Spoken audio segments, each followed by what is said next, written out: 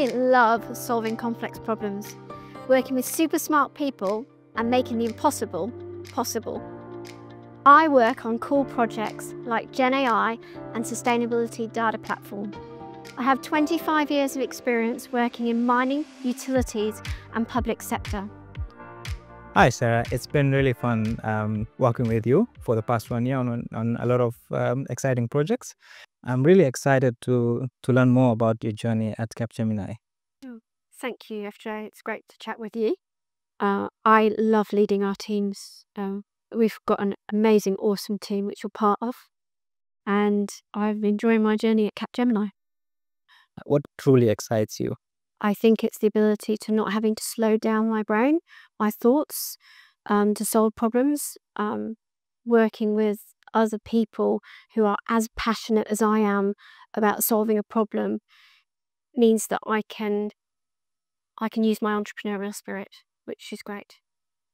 So, how do you see uh, your role at uh, Capgemini having a positive impact on your colleagues, you know, the society, uh, the planet, or the world in general?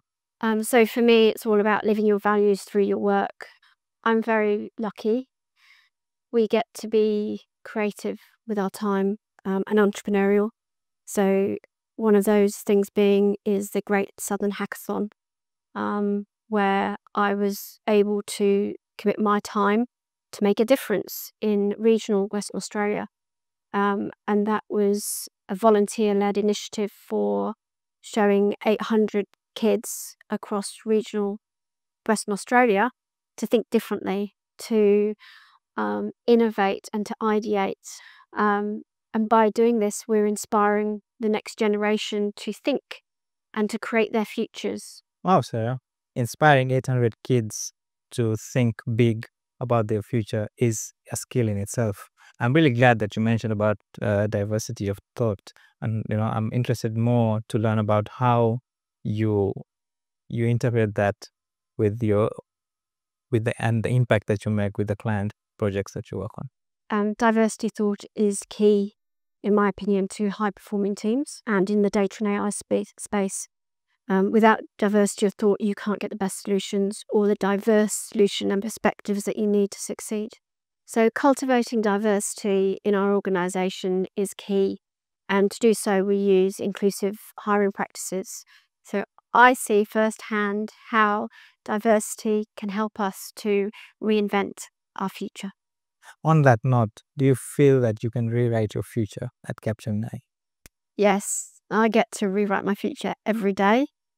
Um, and I think that is because of the humbleness of our people globally. We have super smart global teams, um, and they're willing to share the knowledge with us and teach us. And I think that goes across all levels of the organisation.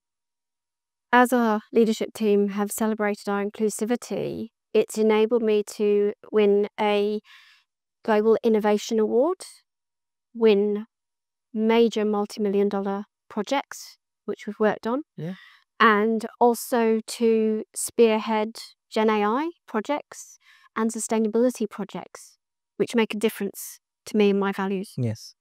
What makes Capgemini stand out for you as an inclusive workplace? Um, because of the values, um, the values that we have are instilled in me. I have loved how inclusive Capgemini is, and it's enabled me to grow in my own differences and accept my own differences. I'm now embracing my neurodiversity. But now, over time, it's more the global network of super smart individuals and teams around the world that want to share and want to grow and want to learn. Um, I find that inspiring and I love learning from other people. At Capgemini, I get to work with humble, kind, and passionate people who are very creative and they want to make a difference in our world. I wake up in the morning and I get to think.